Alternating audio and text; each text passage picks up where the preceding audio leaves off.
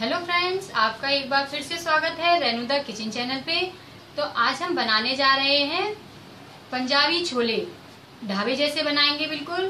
खाने में बहुत ही टेस्टी लगते हैं पंजाबी छोले। और अगर आपने मेरा चैनल सब्सक्राइब नहीं किया हो तो मेरे चैनल को सब्सक्राइब कर दें, क्यों आगे भी आपको मेरे चैनल पे अच्छी रेसिपी देखने को मिलेगी। तो आइए बनाते हैं हम पंजाबी छोले। तो उसके लिए हमें सामान चाहिए।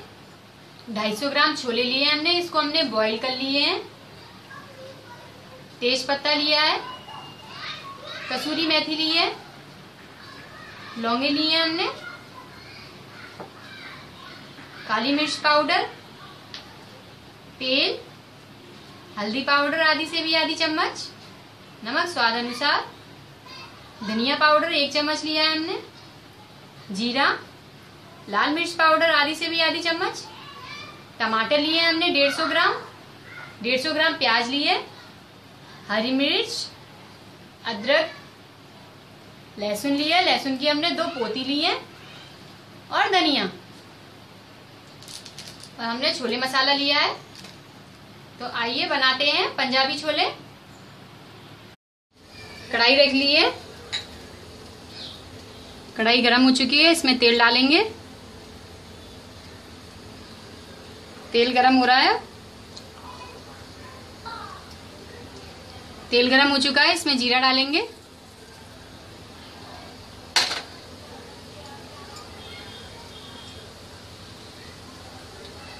इसमें काली मिर्च और लौंग हमने चार पाँच कूट ली है।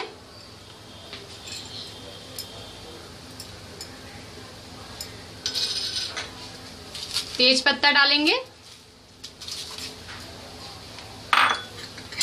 मिला लेंगे इसको।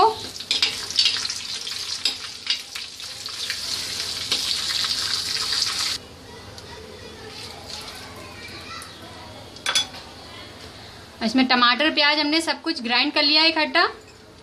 बहुत ही सरल तरीके से बनाना बता रहे हैं हम आपको पंजाबी छोले।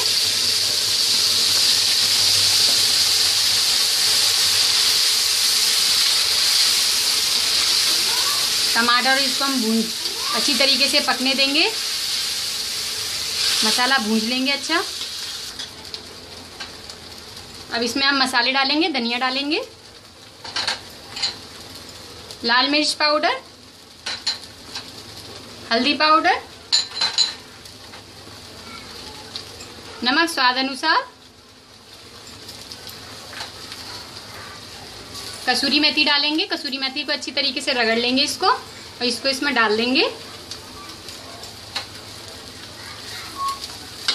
अब इसको अच्छी तरीके से पकने देंगे। अच्छी तरीके से मसाले भुन जाए हमारे।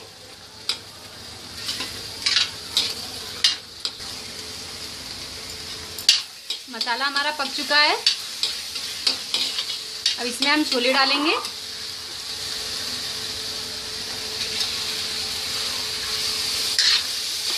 मिला लेंगे इसको।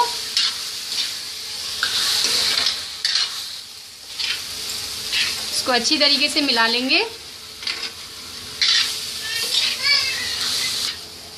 इसको मिला लेंगे। ये मिल चुके हैं छोले। अब इसमें हम पानी डालेंगे, थोड़ा सा पानी डालेंगे बिल्कुल। ये पानी हमने छोले की जो बॉईल किए थे उसमें से निकाला हुआ था।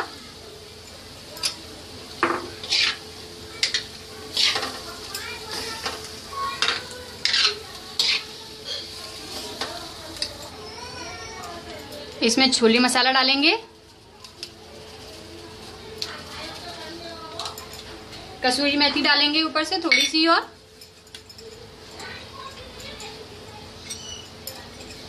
इसको मिला लेंगे।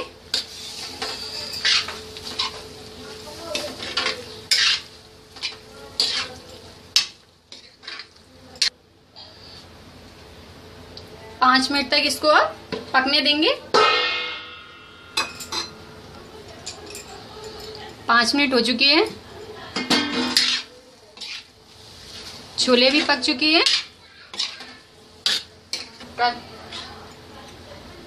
इसमें धनिया डालेंगे कटा हुआ। मिला लेंगे।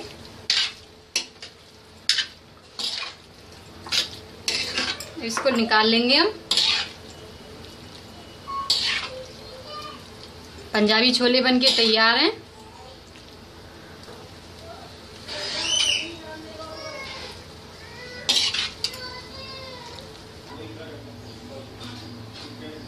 पंजाबी छोले बनके तैयार हैं। बनाएँ, खाएँ और आप हमें बताएँ कि आपको हमारा वीडियो कैसा लगा है। और अगर आपको हमारा वीडियो अच्छा लगा हो तो लाइक करें, सब्सक्राइब करें तथा शेयर ज़रूर करें। धन्यवाद।